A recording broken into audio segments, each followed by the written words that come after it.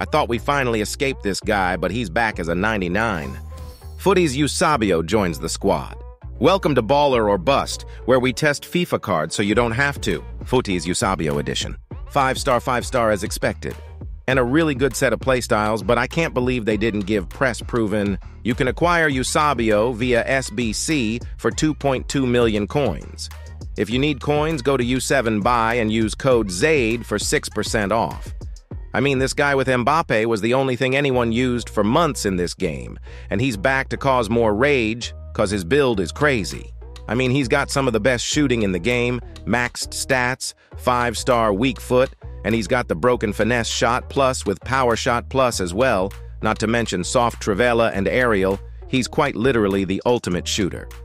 Now, while his dribbling is loaded up, he's cursed with an average body type so it hurts his left stick, but with all those playstyles, he's still very good. Of course, he's got pace, pretty quick, but not like Main or Mbappe quick. Decent passing and physicality to his game as well. I mean, this guy is a 2 million coin card, he's just that good, his finishing is ridiculous, and he's going to cause a lot of rage quits.